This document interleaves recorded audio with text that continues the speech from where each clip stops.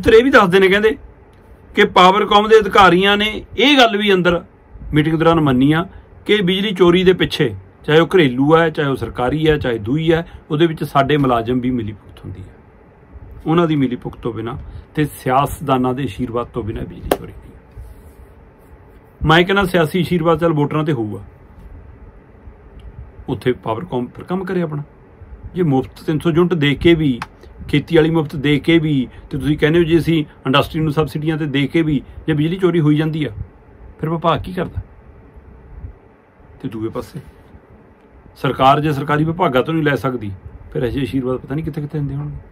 ਨੂੰ ਸਵਾਲ ਕਰ ਮੈਂ ਤਾਂ ਕਹਿ ਰਿਹਾ ਕਿ ਜਨਾਬ ਆਲ ਇੰਡੀਆ ਇੰਜੀਨੀਅਰਿੰਗ ਫੈਡਰੇਸ਼ਨ ਨੇ ਬੜਾ ਨਿੱਠ ਕੇ ਲਿਖਿਆ ਚਿੱਠੀ ਦੇ ਵਿੱਚ ਕਿ ਐਨਐਸਏ ਲਾਓ ਬਿਜਲੀ ਚੋਰਾਂ ਦੇ ਉੱਤੇ। ਤੇ ਫਿਰ ਸ਼ੁਰੂਆਤ ਕਿਹੜੇ ਸਰਕਾਰੀ ਵਿਭਾਗ ਤੋਂ ਕਰੋਗੇ? ਕਿਹੜੇ ਥਾਣੇ ਤੋਂ ਕਰੋਗੇ?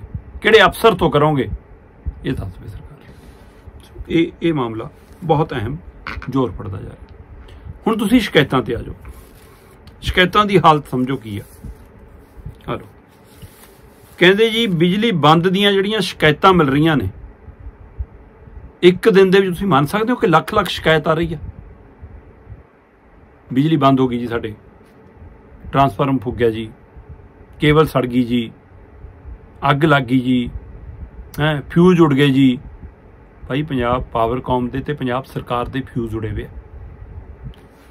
ਲੰਗੇ ਕੱਲ ਲੁਧਿਆਣੇ ਲੁਧਿਆਣੇ ਦੇ ਵਿੱਚ 67000 ਬਿਜਲੀ ਦੀਆਂ ਸ਼ਿਕਾਇਤਾਂ ਆਈਆਂ।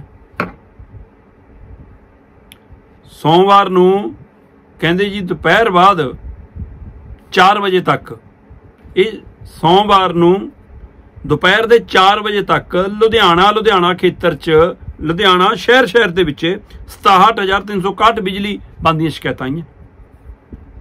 ਤੇ ਇੱਥੋਂ ਹਿਸਾਬ ਲਾ ਲਓ ਕਿ ਕੀ ਹਾਲਤ ਆ ਸਾਡੀ। ਆ ਜੀ ਕਹਿੰਦੇ 15 ਜੂਨ ਨੂੰ 1 ਲੱਖ ਦੇ ਕਰੀਬ ਸ਼ਿਕਾਇਤਾਂ ਰਿਕਾਰਡ ਕੀਤੀਆਂ ਗਈਆਂ। ਆ ਮਾਫ ਕਰਨਾ ਉਹ 67000 ਅ, ਪੂਰੇ ਸੂਬੇ ਦਾ ਅੰਕੜਾ ਤੇ 5300 ਅੰਕੜਾ ਲੁਧਿਆਣੇ ਦਾ ਸਭ ਤੋਂ ਵੱਧ। ਸਭ ਤੋਂ ਵੱਧ ਸ਼ਿਕਾਇਤਾਂ ਜਿਹੜੀਆਂ ਆਈਆਂ 5331 ਸ਼ਿਕਾਇਤਾਂ ਲੁਧਿਆਣੇ ਚ ਆਈਆਂ। ਤੇ ਕੁੱਲ 4 ਵਜੇ ਤੱਕ ਸਾਰੇ ਪੰਜਾਬ ਚੋਂ 67000 ਸ਼ਿਕਾਇਤਾਂ ਰਿਕਾਰਡ ਕੀਤੀਆਂ ਗਈਆਂ। ਤੇ 15 ਜੂਨ ਨੂੰ ਤਾਂ 1 ਲੱਖ ਤੋਂ ਵੱਧ ਸ਼ਿਕਾਇਤਾਂ ਰਿਕਾਰਡ ਕੀਤੀਆਂ ਗਈਆਂ ਕਹਿੰਦੇ। ਇੱਥੋਂ ਹਿਸਾਬ ਲਾ ਲਓ ਸਥਿਤੀ ਹੈ। ਇੱਕ ਦਿਨ 95000 ਤੋਂ ਵੱਧ ਸ਼ਿਕਾਇਤਾਂ ਰਿਕਾਰਡ ਕੀਤੀਆਂ ਗਈਆਂ। ਤੇ ਇਹ ਸਥਿਤੀ 'ਚੋਂ ਜਦੋਂ ਪੰਜਾਬ ਲੰਘ ਰਿਹਾ ਕਿ ਸਾਡੇ ਕੋਲ ਬਿਜਲੀ ਸਰਪਲਸ ਵੀ ਨਹੀਂ, ਡੈਮਾਂ 'ਚ ਪਾਣੀ ਦਾ ਪੱਧਰ ਵੀ ਘਟ ਗਿਆ, ਹੈ, ਸਾਡੇ ਕੋਲ ਹਾਲਤ ਘੱਟ ਲਾਉਣ ਵਾਲੀ ਬਣੀ ਹੋਈ ਹੈ ਅਣਲਾਨੇ ਘੱਟ ਲੱਗ ਰਹੇ ਨੇ।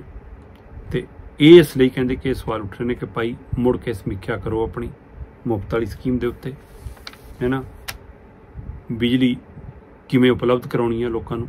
ਇਸ ਗਰਮੀ ਦੇ ਵਿੱਚ ਝੋਨੇ ਦੇ ਲਈ ਵੀ ਬਿਜਲੀ ਦੀ ਲੋੜ ਹੈ ਇਹ ਸਾਰੀ ਸਥਿਤੀ ਨੂੰ ਮੁੜ ਕੇ ਵਾਚੇ ਪੰਜਾਬ ਸਰਕਾਰ। ਨਹੀਂ ਤੇ ਵੱਡਾ ਮਸਲਾ ਬਣ ਜਾਊਗਾ। ਸੋ ਐਨਐਸਏ ਚਿੱਠੀ 'ਚ ਲਿਖ ਕੇ ਨਹੀਂ ਸਰਨਾ ਜਨਾਬ। ਪਹਿਲਾਂ ਸਰਕਾਰੀ ਵਿਭਾਗਾਂ ਤੋਂ ਚੋਰੀ ਰੋਕਣੀ ਸ਼ੁਰੂ ਕਰੋ। ਫਿਰ ਇਹ ਪਾਵਰਕਾਮ ਨੂੰ ਪੈਰਾਂ ਸਿਰ ਕਰੋ ਤਾਂ ਕਿ ਪੰਜਾਬ ਪੈਰ ਪੈਰਾਂ ਸਿਰ ਰਵੇ। ਸਰਕਾਰ ਆਪਣੇ ਘਰਾਂ 'ਚ ਵੀ ਦੇਖ ਲਵੇ ਜਿਹੜੇ ਏਸੀ ਚੱਲਦੇ ਨੇ, ਉਹਨਾਂ ਨੂੰ ਵੀ ਰੋਕਣ ਦੀ ਕੋਸ਼ਿਸ਼ ਕਰੇ। ਤੁਸੀਂ ਵੇਖਦੇ ਰਹੋ ਦਾ ਟੀਵੀ ਐਨਆਰਆਈ ਬਹੁਤ ਬਹੁਤ ਸ਼ੁਕਰੀਆ।